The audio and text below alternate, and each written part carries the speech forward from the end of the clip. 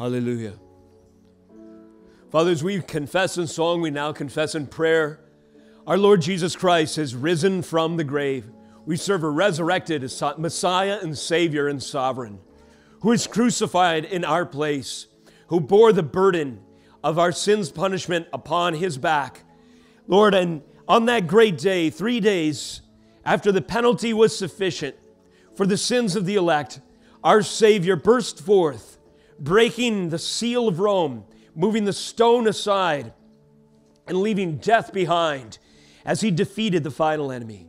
Lord, in light of this glorious power, if that same Spirit would indwell us, what great power and what great things might you accomplish through your church, submitted to Christ and Christ alone. Lord, I pray this morning that you would bow our hearts in submission before the Lordship of Jesus. That we, Lord, as a result of hearing his word proclaimed, might apply these truths, be diligent ambassadors, faithful servants, joyful advocates, and enduring saints, Lord, to bring the message of hope in Christ alone to a world that's dying, eternally dying for lack of it. This morning, for those who may be new in the faith, we pray that you would use the proclamation of your word to fit stones, foundation stones, underneath them, that they might find an anchor for their soul. For those who are facing trial, they would find your word sufficient this day to encourage them to remain steadfast, immovable, and abounding in the work of the Lord, knowing that you will guide them through and that you have a purpose in the difficult times as well as the joyful. For the mature, Lord, in the faith, I pray that you would give them conviction to find others to disciple and to, to give them, Lord, the testimony and some extra resources along the way for the lost. We pray that the word would cut to the heart, that they might cry, Men and brethren, what must I do to be saved? And in asking that they would find Jesus Christ to be a sufficient Savior, proclaimed, witnessed by His people yet today, as we follow, Lord, in the footsteps of those who echoed these truths so long ago, that your kingdom would advance, your church would grow, Lord, and that you would erase the spots and blemishes from your bride, that we might be presentable before your throne by the power of Christ and his saving work. Bless the reading, bless the proclamation of your word now. In Jesus' name we pray. Amen.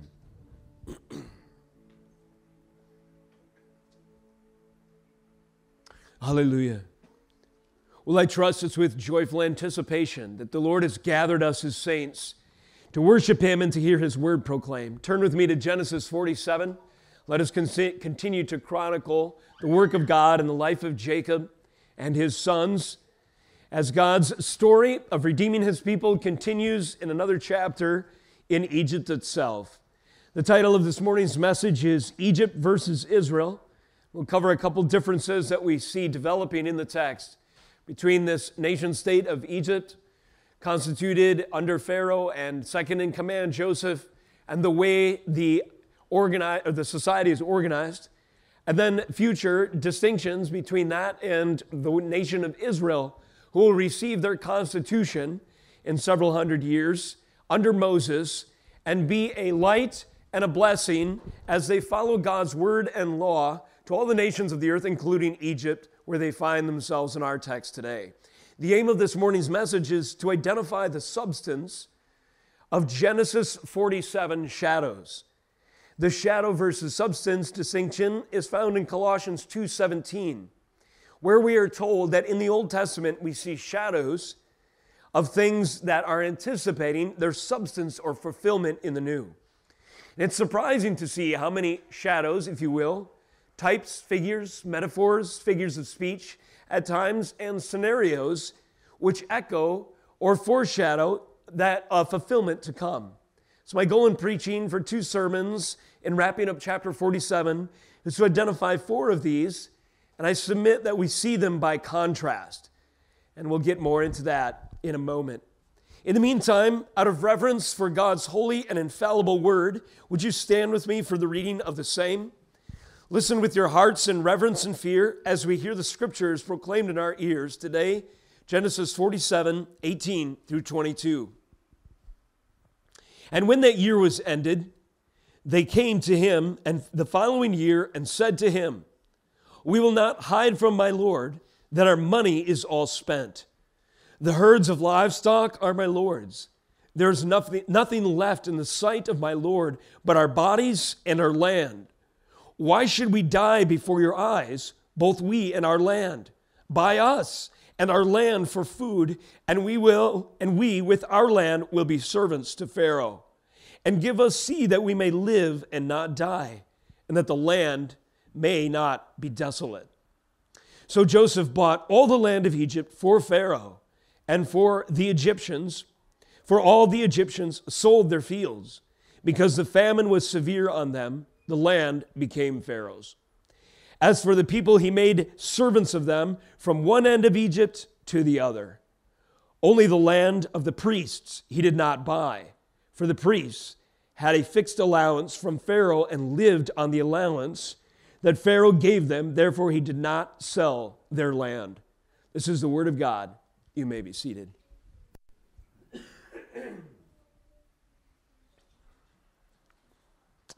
There is an explicit contrast drawn in our text as we continue to read, highlighted in verse 27. This contrast illustrates a surprising difference between the foreigners, sojourners, the Israelites who are taking temporary, although it will be a long time, residence in Egypt, and the regular citizens, the ordinary inhabitants. Notice verse 27. Thus Israel, so that would be Jacob and company, all of Jacob's family, servants, etc. Thus Israel settled in the land of Egypt, in the land of kids. Where did Israel settle? In the land of sorts of Goshen, thank you. Thus Israel settled in the land of Egypt, in the land of Goshen. Notice. And they gained possessions in it. And they were fruitful and multiplied greatly.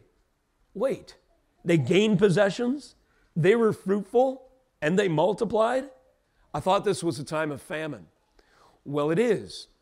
In spite of famine, on the one side of the country, the Egyptians were losing their possessions.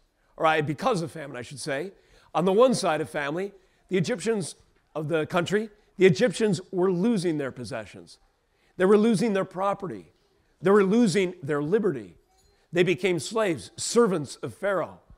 They lost everything and remained at this stage at the mercy of the king of the land. Now, in Goshen, there's some sojourners, foreigners. They're not citizens of Egypt. But a surprising contrast is drawn. Instead of losing all their land, they are gaining possessions. The flocks and herds that have been traded for food in the short term to Pharaoh have been herded over to Goshen, and the expert shepherds of Jacob's sons have been taking care of Pharaoh's growing flocks. They're prospering in the land. They're fruitful, they're multiplying, they're having children, many of them. Their family will explode, multiply, expand exponentially. Give it a few centuries, they, historians figure, will be a million strong. Quite the contrast. I believe that this verse sets up or gives us a little bit of a hermeneutical clue.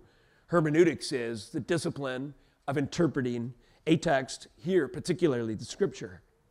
My submission is, is that Moses, in recording this passage, or in 47, is setting up contrasts. He is highlighting the differences between the ordinary order of things in a pagan nation such as Egypt, Joseph's leadership notwithstanding, and God's divine purposes and order that we will continue to see unfold in national Israel. Genesis is winding down. It's chapter 47. At the moment we're preaching in, there's just two, three more, so 50 chapters in this book. Kids, what is the book that immediately follows Genesis? It goes Genesis, then Exodus. Very good. So, although there are hundreds of years from the time of Joseph to the time of Moses, in the text, that time is compressed. In other words, in the literary structure of the Bible, it is intended to see that Egypt is ordered like so, and then it will be followed by the revelation of a new nation and a new order and a new identity of the people to follow. And so Genesis and Exodus back to back serve to illustrate things like this. Genesis is winding down, it will be followed by the sequel, Exodus. Not only would God's people gain possessions and be fruitful and multiply, in stark contrast to the citizens of Egypt who are languishing in famine, But chapter 47, our passage today, and a few verses beyond, they anticipate other contrasts and differences as well. the destiny of God's people continues to unfold. As it continues to unfold in covenant history, we find that the nation of Israel, that is Jacob and company, a growing company, their experience, their identity, and their social order, which would be the way the society is organized, you could say government, their experience, their identity, and their social order would be distinct from the pagan nations. It would be distinct from the nations around them. And this is not a discrimination or a false inflated cultural identity where they think, oh, we have Israeli exceptionalism by virtue of our history alone or ourselves or our accomplishments. We're a much better nation than others, and so on some sort of narcissistic patriotism, they celebrate their nation as better than all the rest. No. It is better in many respects, but it's only in better it's only better insofar as they are submitted in obedience to the King of Kings and the Lord of Lords and order their nation and their society according to God's word. And that is always true. A nation is never exceptional, and patriotism is always narcissistic unless it's with reference to the law of God. There's something to be proud of or to take identity in, insofar as the name and the authority of Jesus Christ is upheld. And short of that, we should repent. This is a message here, and it applies to us. So they would be distinct, that is, Israel, from the other nations. But this distinction will not just be to glorify God by illustrating the difference, but also as a light and a blessing. Do you remember Genesis 22, 17 through 18? Isaac is commanded, excuse me, Abraham commanded to sacrifice his son Isaac. A lamb, a substitute, is provided, a ram that is, and, and thus, and then the Lord speaks and says, He reiterates that covenant promise. I will make of you a great nation, Abraham. He goes on to prophesy that through Abraham's lineage, he would both, that is, Abraham in company, if you will, Isaac, Jacob, and those that follow, they would both possess the gates of their enemies and become a blessing to all the nations of the earth. So, fulfillment of this text is recorded in this passage and will continue to be documented as the Lord reveals the constitution of national Israel in due time. Let me just anticipate, or let me give you a scriptural reference that anticipates the purpose in this difference. In Deuteronomy 4, we see God revealing to Moses some reasons for how he is setting up this nation, this people. Verse 5 See, I have taught you statutes and rules, as the Lord my God commanded me, Moses speaking, that you should do them in the land that you are entering to take possession of it. Keep them and do them, for that will be your wisdom and your understanding in the sight of the peoples, who, when they hear all these statutes, will say, Surely this great nation is a wise and understanding people. For what great nation is there that has a God so near to it as the Lord our God is to them whenever we call upon him?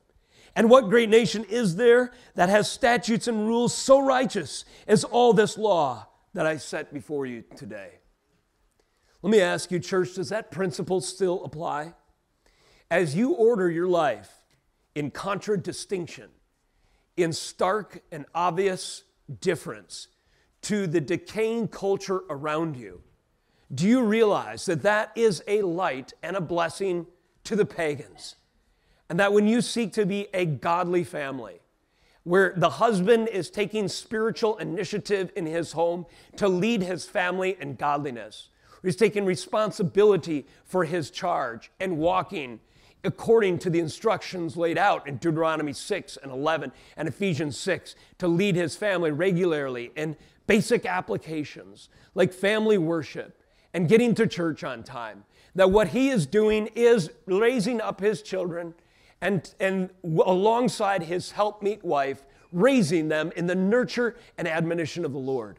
Does that not look starkly different than the default parenting that we see in the world today? babysitting, or most children raised in our culture are babysat by multiple screens streaming any kind of depraved nonsense to them nonstop in such a way as to warp their psyche and set them up for failure almost immediately upon leaving the confines of the entitlement class that is their home, their government, and the society, setting them up for failure. Well, in stark contrast to this, when families order themselves according to the Word of God, as Jacob's family is learning more and more how to do, it becomes a stark difference and a testimony to the world around.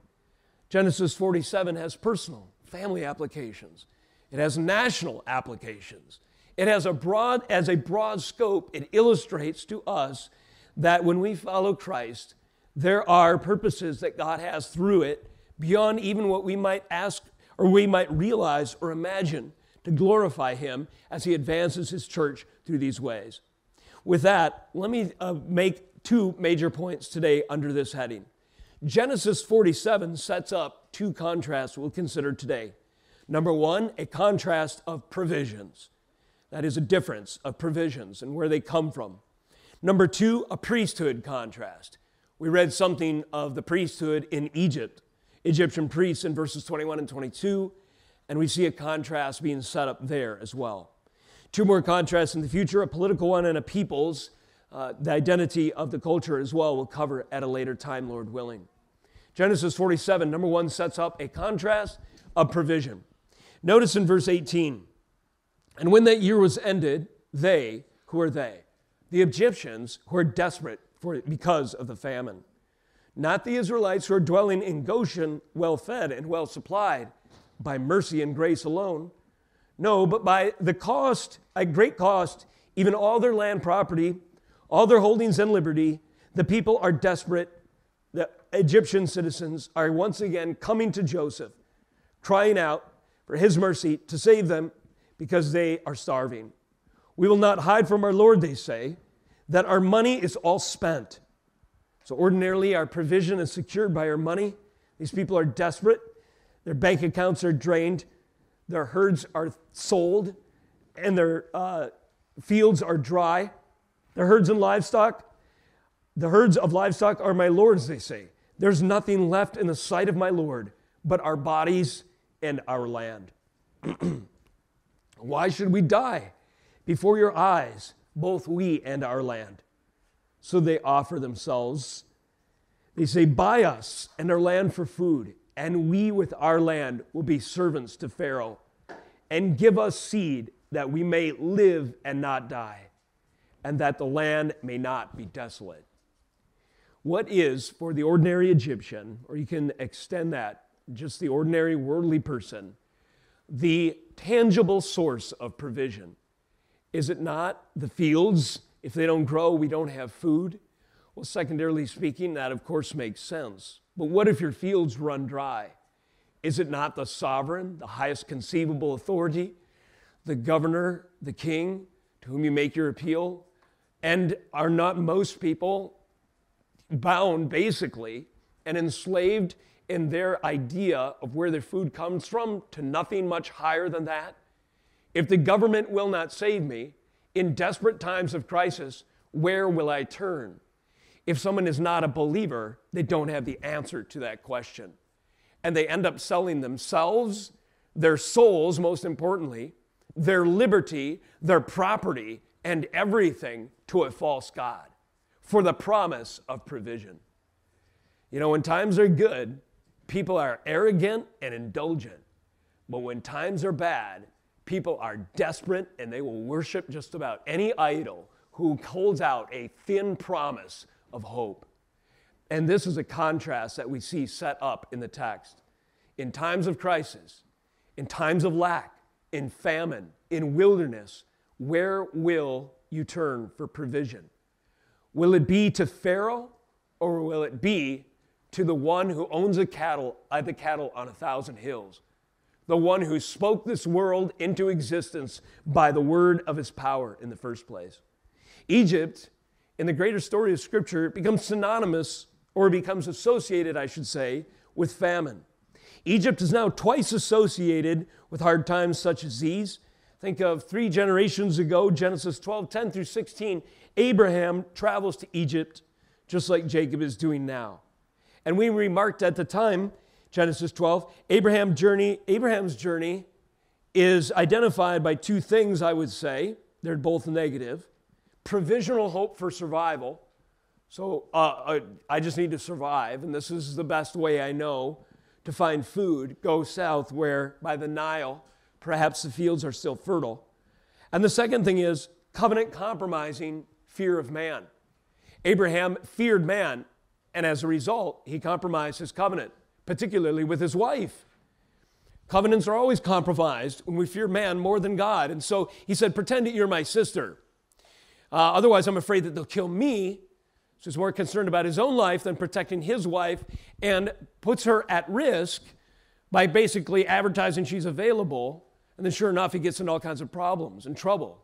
God rescues his servant in spite of his sin and weakness and his covenant compromise, but he leaves Egypt and he leaves with possessions, but only because God tells Pharaoh, hey, don't lay a finger on my son. If you do, you know, you have hell to pay, quite literally. So the Pharaoh gives him a whole bunch of blessings, sends him on his way, chides him for lying to him in the first place. Abraham leaves. Egypt, in redemptive historical terms, uh, becomes symbolic of short term refuge and long standing tyranny. Short term refuge, long standing tyranny. The promises of salvation, anything short of the true Savior, fall into that same category. Short term promises, long standing bondage. The promise of sin is happiness and joy. Sins of self indulgence for a season and for a little bit there, as the prodigal spending your father's inheritance, the wine, women, and song lift your spirits, but it's superficial. They lift you up to dash you upon the rocks of God's judgment, the consequences of denying His law, the reality of life without responsibility and submission to the author of life. And so then you begin to see the consequences of short term blessing are long standing bondage and tyranny. And so the call of the gospel is go home. Go home to your father who owns all the cattle you can imagine. Better to be a servant there than to eat the swine food of the short term promises of this world. this happened to the people then. It's a principle throughout the scriptures. When I say redemptive historical terms, I just wanted to emphasize this and to clarify. I realize this week I use that term quite often redemptive history and covenant history. So, kids in the room, you guys have been going through, if you're involved in the young people's study, Bible study, the uh, Gospel Project curriculum, and sometimes you'll be asked in there, uh, the, or you'll consider a big picture question, right? And that big picture question is how does this passage of Scripture or this story we're learning about relate to the big story of Scripture? Man fell, man needs redemption, Jesus came to save, and then there's future glory creation, fall, redemption, glory. So that's the big story of Scripture. And you kids know this because you've been studying along these lines. So just know that I say things like uh, covenant history or redemptive history, that's what we're talking about. The big picture theme of the Bible. And my point to you is this that Egypt as far as what it symbolizes or represents in the big picture theme of the Bible is short term refuge, but long standing tyranny. The promises of this world that fall short. Egypt illustrates the fatal cost of humanist hopes of salvation, finding a way by the means at your mere human disposal. It's like another version of the Tower of Babel, or it's like the modern ghost cities of China you heard about these?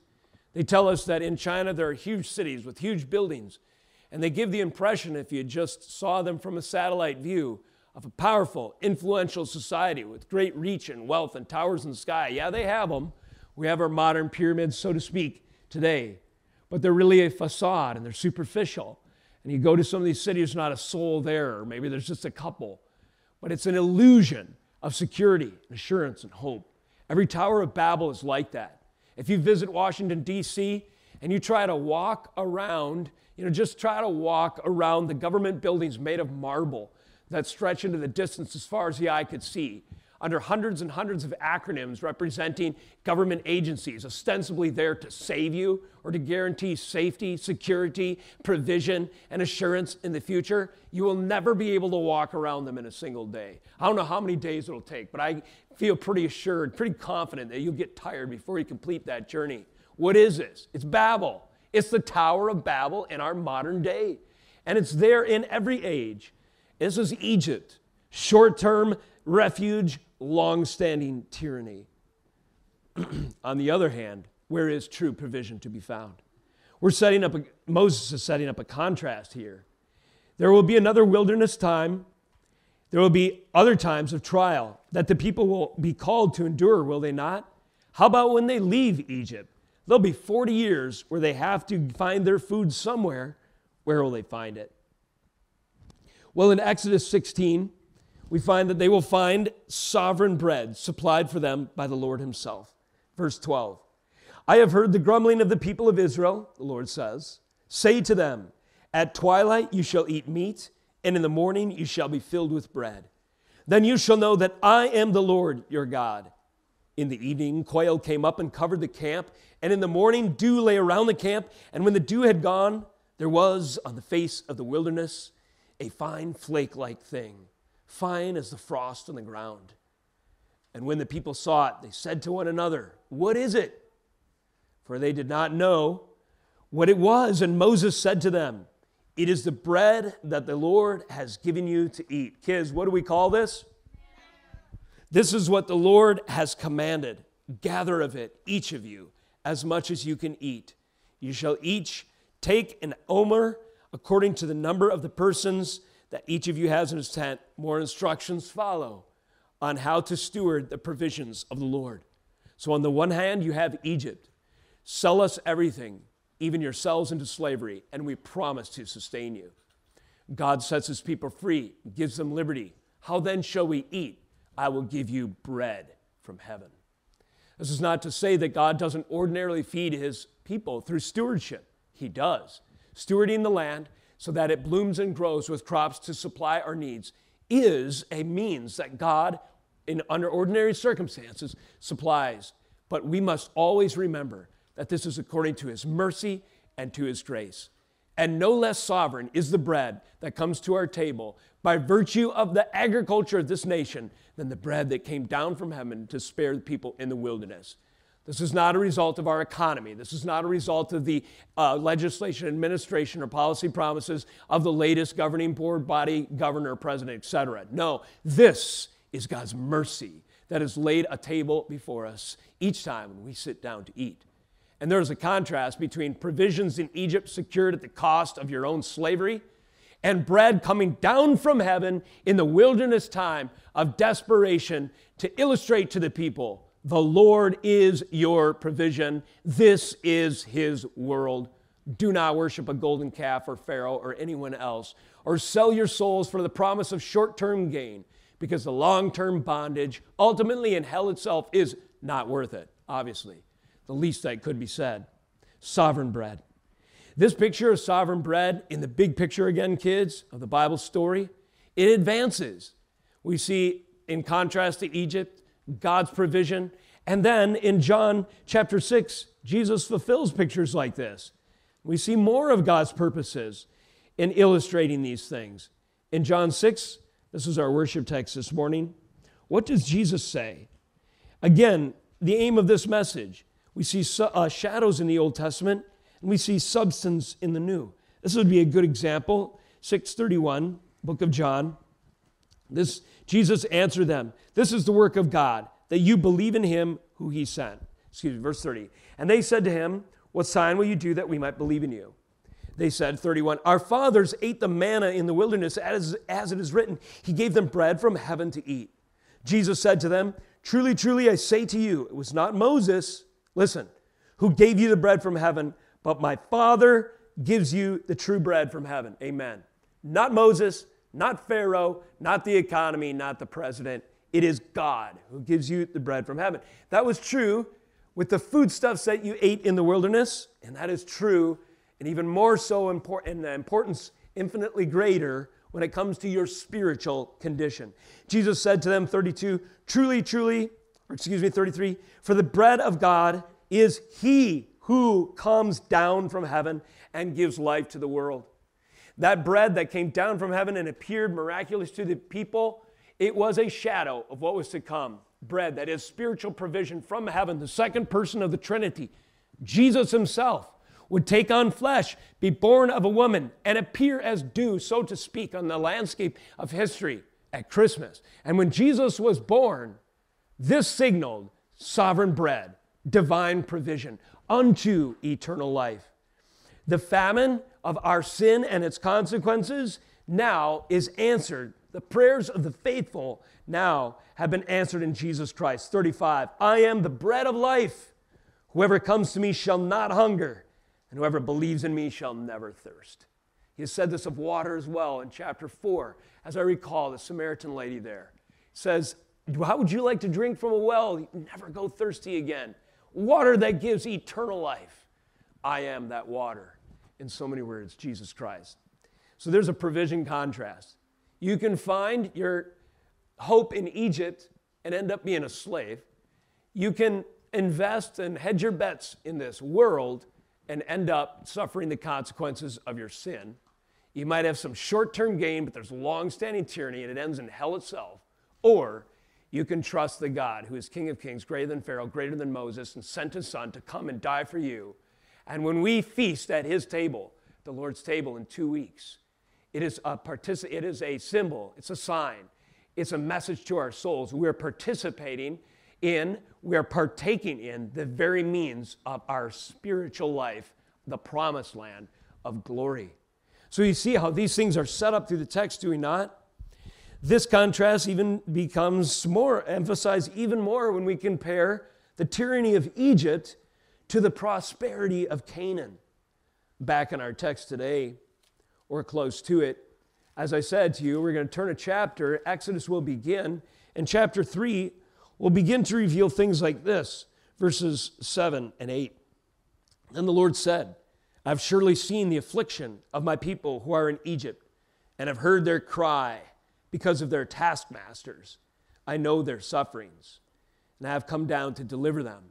So if I was leading a Bible study with you kids, I might say, Give me three things that characterize Egypt. Three things that uh, are adjectives or characterize Egypt. Let me read again, see if you pick them out. Verse 7. Then the Lord said, I have surely seen the affliction of my people who are in Egypt. I have heard their cry because of their taskmasters. I know their sufferings. Verse 7, there's the three affliction, taskmasters, and suffering. That's Egypt. Egypt in chapter 47 is set up as a contrast. What does Egypt represent? Affliction, taskmasters, and suffering. Isn't it the promise of food? Yeah, at the cost of your soul. That's the picture. But there is a promised land, place that's different, circumstances that are a, a sharp difference from this. Verse 8 And I have come down to deliver them out of the hand of the Egyptians. That is, I've come to deliver them from their affliction, from their taskmasters and their sufferings. And to do what? Verse 8 continues. And to bring them out of that land to a good and broad land flowing with milk and honey. And so, if we were to take that same Bible study quiz, what characterizes the promised land? Good land, broad land, flowing with milk and honey. Milk and honey are metaphors. My kids love milk. We do a milk run, maybe some of you guys do. So every so every couple of weeks, we get like, I don't know, eight gallons in the fridge, and it goes quickly. We also buy honey by the gallon. Yes, we do have a big family. But we also have insatiable appetites for milk and honey at our house. It tastes so good. And there's so much you can do with it. And isn't it interesting that these symbols of prosperity and provision from the old still relate to us now? Gold is a similar picture in Scripture. People still value gold. I mean, my kids are fascinated with it. A few of you guys we mentioned before have metal detectors. What if you found a stash of gold? You would have a story to tell your buddies. Sure you wouldn't wait till the next Sunday. You'd get on the phone and tell everyone you're rich. These pictures in the Bible of overflowing prosperity, the promise of God fulfilled, are seen in these images milk, honey, and gold, and streets of gold as well. Egypt, taskmasters, affliction, slavery. Promised land, God's order, God's way of doing things, the fruit of following his law, basing your life and your future and your hope of provision now and eternally on Him, what is it? Good land, broad land, flowing with milk and honey, and ultimately giving way to the tree of life, the throne of the Almighty, streets paved with gold, mansions in glory, and crowns for those obedient to Him. They might cast that as an offering in worship with the elders and join the seraphim forever singing, Holy, holy, holy is the Lamb that was slain to secure for me the glories of life eternal. Provision contrast Egypt, famine, taskmasters. Sovereign bread in the wilderness, picture and fulfilled in Jesus Christ, manna from heaven. Promised land, prosperity. Yes, there's challenges, there's trials, there's tests of faith, there's enemies in the land. Goes on even in this passage in Exodus 3 to say that there are peoples there that must be overcome. But you have a mighty God one mighty enough to part the sea, mighty enough to give you bread with his own hand each day in the morning. Have any reason to doubt? He won't, through your untrained sword, slay the inhabitants of Jericho? How about you try me? Walk around it seven times. See what happens. Kids, what happened? Seventh day, they walk around Jericho seven times. They blew the trumpets, ram's horns, they shouted, and what happened? I heard it back there. The walls fell down. That's right. And so, yes, the promised land is not without trial, but for those who followed God's word, they found him to be true. We can trust as well in the trials of our day. The scriptures go on to draw a distinction of salvation in Egypt versus salvation out of Egypt. Back in our primary text in Genesis 40, uh, 47, the people desperate in famine sought salvation in Egypt. and we see this they brought their livestock, they gave them as offerings, basically, you could see this. And they brought themselves, they turned over themselves as offerings. We think in the New Testament in Romans 12 how God commands us to present ourselves as living sacrifices to the Lord. And sort of the counterpart of that is you present yourself as a living sacrifice to the Lord of the land, right? And so they, they say, Why should we die before your eyes? Both we and our land buy us and our land for food. And with you, and we with our land will be servants to Pharaoh. Give us seed that we may live and not die, and that the land may not be uh, desolate. Salvation in Egypt. Please save us. We're dying, we're starving. This is all we have to offer. We are completely at your mercy. There's a fundamental contrast in the scriptures. Again, this is symbolic in the greater story of the Bible. Egypt represents selling yourself for salvation found in this world. The world is the place of bondage and oppression, Egypt included, symbolizing captivity to sin. It is insufficient for salvation. The scriptures later pick up on some of these themes in passages like Hosea 11. Just listen as the prophet proclaims When Israel was a child, verse 1, I loved him, and out of Egypt I called my son. Notice that language. Out of Egypt I called my son. The more they were called, the more they went away. They kept sacrificing to Baals and burning offerings to idols. They want to go back to Egypt. They're dancing around Baal, thinking that it will rain in Elijah's day and so forth. They raise up the golden calves. They want the comfort, the provisions, the foodstuffs, the convenience of Egypt. At least though we were servants, we had leeks and onions to eat. They keep sacrificing to these idols.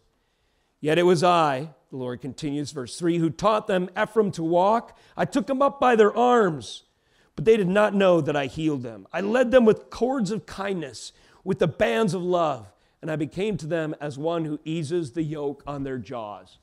These people, so broken by slavery and so immature in their faith, generally speaking, when they were saved out of Egypt, need to be, needed to be taught how to be worshipers of the one true God. They needed their faith built and they needed a foundation underneath them, and God was patient and did so through various means under Moses and Joshua. Yet there was a real difference and there was a conflict in the heart of many. Will salvation be found in Egypt and what it represents, or is there salvation out of Egypt? Out of Egypt I have called my son. These words, of course, give way to their fulfillment in Matthew 2 12 through 15, where Jesus himself travels out of Egypt and back to the place where God had ordained he would be raised by his earthly mother and father, Mary and Joseph, thus fulfilling this text Out of Egypt I have called my son. Where do you hope for salvation? In Egypt or out of Egypt? Uh, I think it's Second Peter t- tells us that we are a royal priesthood, a holy nation, a people called out to testify to the uniqueness and glory. We have a new identity, we are a new people, we are a new culture, we have new values, if you will. These are ways that we commonly apply these identity points. And we are a priesthood, we are set apart, consecrated, we are ambassadors of the Lord, and we are called to represent Him in this world. And we are different by design, different by design. Because just like God called Abraham to be a light to the nations and Israel to be different, that a certain jealousy would arise among the neighboring peoples, not that they would have the wealth of riches that Israel had necessarily, but that they would have the wealth of wisdom and the assurance of hope and the covenant blessings of the Messiah who was to come. This same thing we are called to do today. The temptation, short term, is to blend too much with the world. The trials that we have today often place pressure on us to adopt, to conform, to tolerate, to affirm what the world, what Egypt says is righteous and just and true. But we are not, we don't find salvation in Egypt. We don't find security by going along to get along in a world that finds its identity in their antichrist hatred, ultimately speaking, that manifests itself in all kinds of wicked forms. But instead, we are to find our identity in Christ and realize that that distinct contrast is on, pur- on purpose. If the light is turned on, how is it supposed to dispel the darkness? If it's under a bushel, as the scriptures say, then it is greatly shrouded and ineffective for its purpose. If it's hidden somewhere in a hole, then it can't be seen by others. But if it's set on a hill, it establishes a point of reference. What good is a lighthouse if it's only on the internet? The ship on the sea will crash into the rocks. But if that flashing light on the cliff is boldly proclaiming, steer here and die, steer clear and live, then the sailor, if they would heed that objective standard of salvation in the metaphor, will be spared destruction, shipwreck, and judgment. And so we, like God's people, then we're called, are called now to set our light not in a hole somewhere, but on the cliff and say, steer here and die, steer clear and live. Repent, turn that wheel 180 degrees, steer away from this salvation in Egypt rocks, and find out there, though the open sea may have some uncertainty to it, that Jesus Christ is your anchor in the storm and in him alone is eternal life. So this calling that the Egyptian or that the Israelites had in spite of their Egyptian context is something that relates directly to us. There's a contrast of provision. I might have to extend this to a message, one more message, because I've only gotten through one point this morning. So let's just consider that this message actually had four as I restructure it briefly for you and bring it to a close.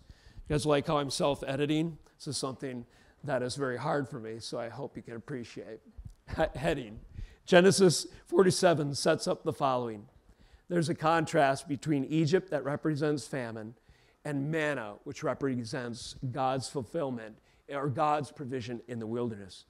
There's a contrast between bread supplied, you know, by the state, if you will, by the welfare and the social security promised under Pharaoh, which all it required was your own loss of complete liberty and private property.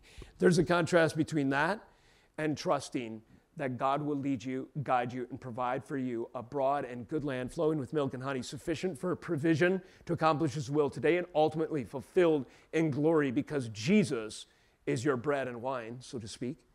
And then finally, there's a contrast between salvation in Egypt and salvation out of Egypt.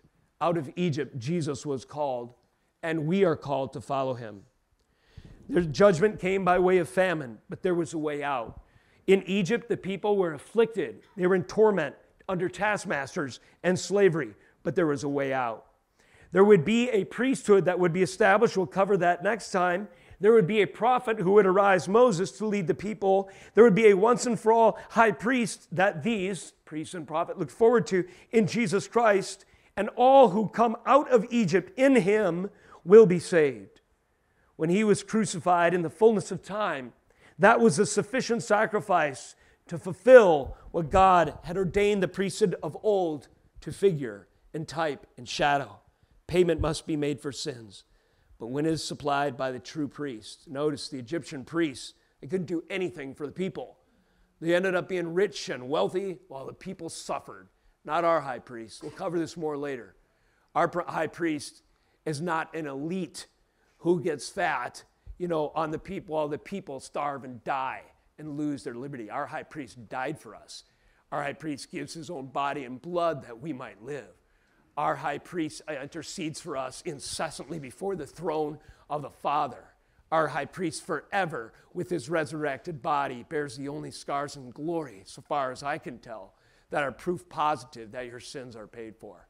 Follow this priest out of Egypt, and as you do so, you will find in the course of life and at the point of death, you will enter a broad land, a good land, flowing with the milk and honey of eternal communion and provision beyond compare and imagination and glory ultimately as we worship the Lord for what he has done. Let us transition in prayer. Father, we thank you for this opportunity that we've had to consider your scriptures. And insofar as they have been accurately represented, we pray that you would write them on the table of our souls. Pray that you would use these uh, these understandings, Lord, is greater appreciation for your word to accomplish glory and fruit for your kingdom as we seek to live in light of these truths. Would you give us, Lord Jesus, more confidence and ability to shine brighter as you have called us to draw a distinction, to be different from the world around? And for the lost, Lord, I pray that you would call them to salvation. In particular, I want to lift up our service next week. As Gene brings your word to us next week in the open air, I pray that you would be pleased to proclaim your crown rights and your way of salvation, even to our community. As we symbolically step outside these walls, may you use this church and our proclamation as a light so that people might be saved out of Egypt and cling to Jesus Christ. Thank you, Lord, that you've given us the great opportunity to be in covenant bond with you through the payment of Christ's blood. May we treasure it all the more. In Jesus' name. Amen.